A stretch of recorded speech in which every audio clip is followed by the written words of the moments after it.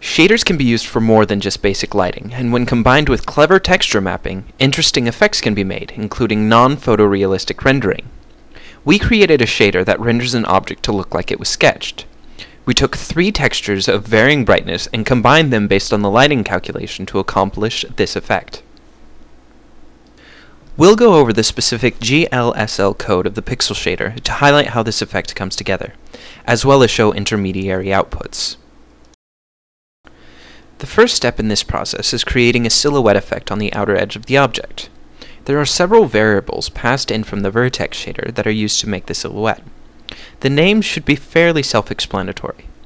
The silhouette is painted black where the angle between the normal and view vectors is close to 90 degrees. In other words, the edge color will equal black for the pixels that make up the silhouette.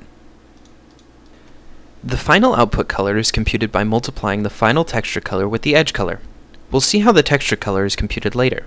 For now, the texture color is simply white. Here is the result so far, where just the silhouette is calculated and applied to the object. Now, in order to calculate the texture color, we're going to apply three successively darker textures to the object, depending upon the light intensity. First, we read the texture color and alpha values from the lightest texture. This is the lightest texture. The white portions have an alpha value of 0, while the black portions have an alpha value of 1. Within a certain intensity range, the alpha value is scaled, so that the texture fades out towards the higher intensity. The color from the texture is then blended with the previously computed output color, white in this case, based on the new alpha value. This is the result so far, with only the silhouette and the lightest texture applied to the object. Next, the same calculations are performed, but this time using a darker texture.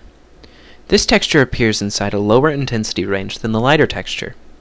As with last time, the color from the darker texture is then alpha blended with the previously computed output color, which now contains the additions from the first texture. This is the second darker texture. Note that it incorporates the lighter texture.